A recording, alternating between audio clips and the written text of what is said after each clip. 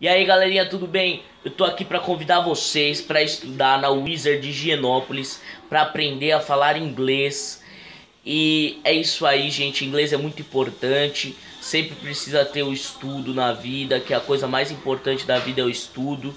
E é isso aí, tô convidando vocês para estudarem lá, Wizard de Higienópolis.